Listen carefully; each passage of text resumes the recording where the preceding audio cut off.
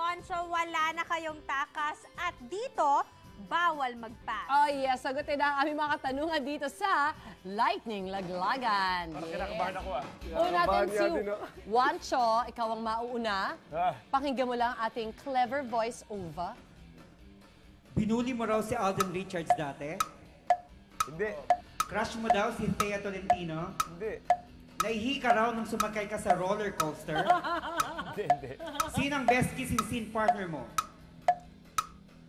Agad, agad! Ay, pinag-isipan pa. Ano ba?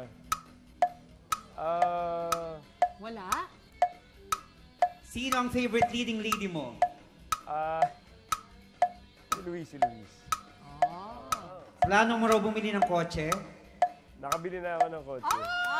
Sinong isasama mo sa test drive? Mami ko, Ikaw ba ang iniiwan o nang iiwan? iniiwan ako. Masaya ka ba sa love life mo ngayon? Masaya ako sa buhay ko ngayon. Wow! Napakagaling sumagot nung isang yun. Fight us Thank you so much. Lumiligtas ka, syempre hindi, hindi pwedeng hindi ka kasali. Tatanungin ka rin ni. Kuya. Kay Fightos. Nagpapayat ka raw dahil nababash ka? Oo. Nakatanggap ka raw ng indecent offer from a gay friend? Oo. Ay! Hidden talent mo raw ang drag racing? Oo. Talo ka raw ng papa mo sa football? Hindi. Mas preferred mo raw ang older girls? Attracted ka raw sa magandang kilikili? Sobra. Super crush mo daw si Rian Ramos? Oo. Adi ka raw sa video games? Addict talaga, grabe kayo. The last person na sinabihan mo ng I love you? Si Mama kanina. Taken ka ba ngayon? Hindi. Ayan! Ang dali ng mga tanong sa kanya. Nag, nag-I love you ka talaga sa mama mo? Yes, tsaka kay Papa. Lalo nung, nung nag, nag, nag-Singapore ako kasi first time ko mag-travel ng hindi kasama family ko. So, sabi nila, iba pala yung bahay pag wala ka. Tapos umiiyak sila, sabi ko, miss ko na kayo, love you. Tapos everyday kami magka, ano, magka-video ka ba call. nawala? Five days lang.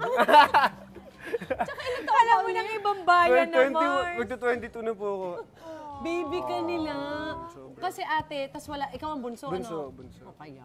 Correct. Namimiss nga naman nila. True. yung tanong. Oh, ang dali lang, di ba guys? Correct. Indecent offer. Friend mo to. Yeah, friend ko. Kilala. Diretso. O, paano nangyari yung offer? Kasi, so parang birthday niya. Tapos tinur niya ako sa bahay nila. Tapos, syempre dahil feeling niya bigatin siya.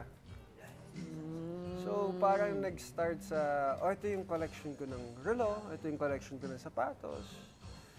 Tapos, andun na kami sa kwarto niya, then sinasabi niya na, ano, kung Itong collection ko Okay ng pajama. Ko.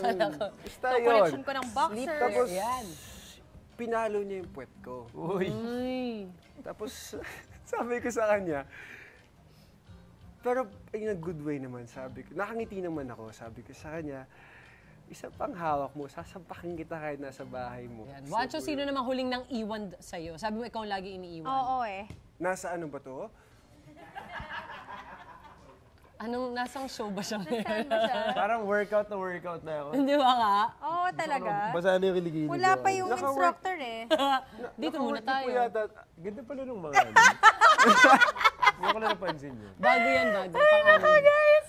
Galing na talaga lumaso. Thank you so much guys for being so game.